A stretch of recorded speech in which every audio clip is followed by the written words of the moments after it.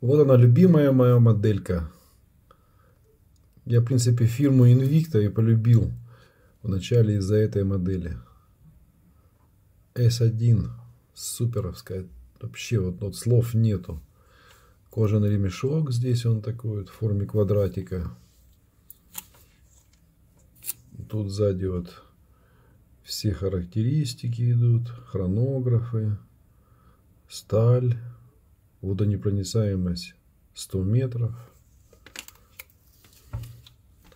Серебристый корпус здесь, черный циферблат.